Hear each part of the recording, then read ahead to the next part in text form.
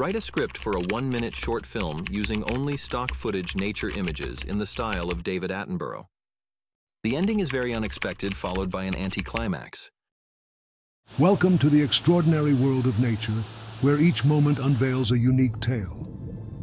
From the depths of the oceans to the serene plains, nature weaves a mesmerizing tapestry filled with life's wonders.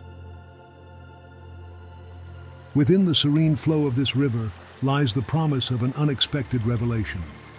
But within this peaceful setting is an unforeseen twist, a surprising moment waiting to be unveiled. In this seemingly common sight, ah, not the anticipated sight.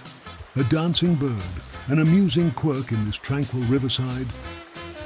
Nature's unexpected performances add an element of whimsy, turning even the most serene settings into moments of delightful surprise.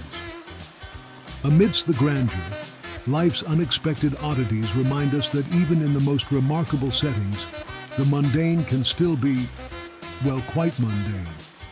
Until our next encounter with nature's delightfully surprising moments.